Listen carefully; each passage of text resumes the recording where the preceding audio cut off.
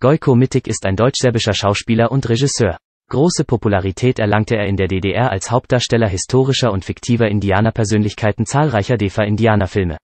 Seine Popularität mag daran erkennbar sein, dass sowohl in der DDR als auch später in der Bundesrepublik versucht wurde, ihm Etiketten anzuhängen. DEFA-Chef-Indianer, einerseits, Winnetou des Ostens, andererseits. Letztere Rolle hat Gojko Mittig aber nie in einem Kinofilm dargestellt. Diese Winnetou-Formulierung nimmt dabei eher Bezug auf die Bekanntheit von Gojko Mittig im Vergleich zum Darsteller der Rolle aus dem Westen, dem Franzosen Pierre Brice. Gojko Mittig spricht nach eigenen Angaben alle slawischen Sprachen, Deutsch, ein wenig Italienisch und Englisch. Leben Mittig entstammt einer Bauernfamilie aus einem Dorf an der Fetanica im Süden Serbiens. Da sein Vater Zivojin am Befreiungskampf jugoslawischer Partisanen im Zweiten Weltkrieg teilnahm, wuchs er mit seinem Bruder Dragan bei seinen Großeltern auf. Nach seiner Schulausbildung, bei der er auch vier Jahre in Deutsch unterrichtet wurde, begann Mittig, 20-jährig, an der Sporthochschule in Belgrad Sport zu studieren. Während seines Studiums knüpfte er erste Kontakte zum Film. Zu dieser Zeit wurden in Jugoslawien viele internationale Filme produziert, deren Komparsen hauptsächlich Studenten der Belgrader Sporthochschule waren. Ab 1961 trat Mittig verstärkt als Stuntman in italienischen und britischen Filmen auf. 1963 erhielt er eine winzige Rolle in dem von Arthur Brauner produzierten Karl May-Film Old Shatterhand. Beeindruckt von seiner athletischen Erscheinung ermöglichte man ihm, nach der Rialto-Produktion Winnetou 2. Teil im nächsten Film der Serie in Untergeiern eine größere Rolle als Häuptlingssohn Vokade zu übernehmen. Hier erschien sein Name im Abspann noch eingedeutscht als Georg Mittig. Dann begann auch die DEFA in Jugoslawien DEFA Indianerfilme zu drehen. 1966 spielte Mittig als Lakota-Häuptling Tokaito in Die Söhne der großen Bärin seine erste Hauptrolle.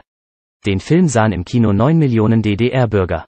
Damit begann seine Filmkarriere vor allem in der DDR, wo er eine außerordentliche Popularität erreichte.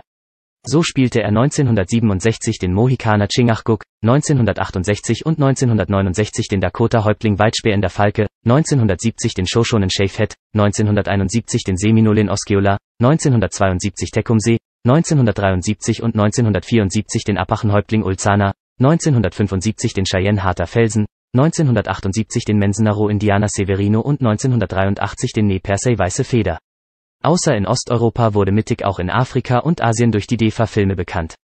Bis 1975 stand er jährlich für mindestens einen Film vor der Kamera, wobei er fast ausschließlich Indianerhäuptlinge verkörperte. Um seinen leicht hörbaren Akzent zu vermeiden, wurde Mittig, obwohl er fließend Deutsch spricht, synchronisiert dass er, wie etwa am laufenden Pferd und in diversen anderen Szenen, als Schauspieler wohl wirklich alle Stunts selbst ausführte, verlieh seiner Darstellung der Heldengestalt ein hohes Maß an Glaubwürdigkeit. 1976 huldigte ihm die DDR-Rockgruppe Express in ihrem Song Ein Wigwam steht in Babelsberg. Ab Sommer 1976 war Mittig erstmals mit der Rolle des Spartacus im Harzer Bergtheater Thale zu sehen. Dort spielte er bis 1984 meist Abenteuerstücke, die auch für das Fernsehen der DDR aufgezeichnet wurden. Mittig drehte jedoch nicht nur Indianerfilme. Er spielte im Theater, zeitweise stand er auch für Science-Fiction und Fernsehproduktionen vor der Kamera.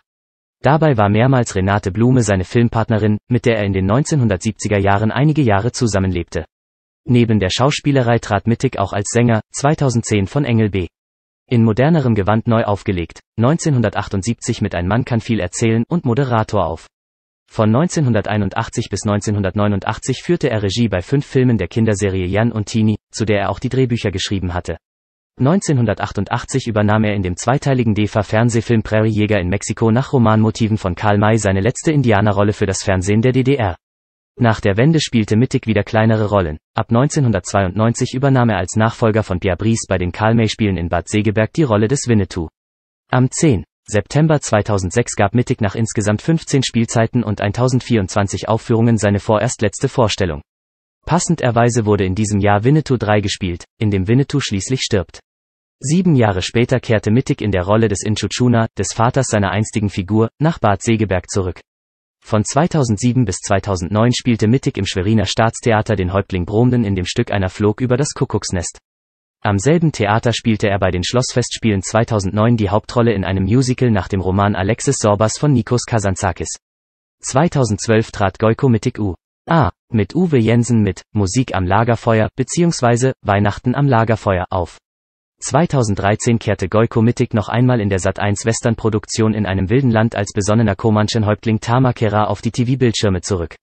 Es ist der erste Indianerfilm, in dem Mittig mit eigener Stimme zu hören ist, allerdings vollständig in einem Comanchen-Dialekt. Seit dem Jahr 2015 gibt es ein ihm gewidmetes Fantreffen im Eldorado in Templin, bei dem Mittig stets als Ehrengast auftritt. Im Dezember 2019 erhielt er den Preis für das filmkünstlerische Lebenswerk von der DEFA Stiftung. Die Laudatio hielt die Sängerin Ute Freudenberg. Gojko Mittig lebt in Berlin-Köpenick und hat eine Tochter. Er ist deutscher und serbischer Staatsbürger. Spielgemeinschaft, Gojko Mittig, Bischofswerda e.V. Am 13. Juni 1993 wurde in Bischofswerda die Spielgemeinschaft, Gojko Mittig, gegründet. Der Verein ist kein Fanclub, sondern ein Theaterverein. Er veranstaltet Deutschlands kleinste Karl-May-Spiele mit den jüngsten Darstellern auf der Waldbühne in Bischofswerda. In den jährlichen Neuinszenierungen wirken über 80 Kinder und Jugendliche sowie zahlreiche Tiere mit. Während ihrer 21 Saison im Jahr 2013 konnten die Bischofswerdaer Karl-May-Spiele den insgesamt 100.000 Zuschauer auf der Waldbühne begrüßen. Gojko Mittig ist Namensgeber und Schirmherr des Vereins.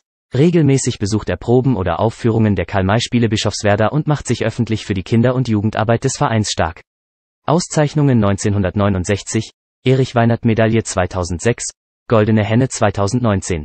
Preis für das filmkünstlerische Lebenswerk der DEFA Stiftung 2020, Filmpreis Premio Bacco.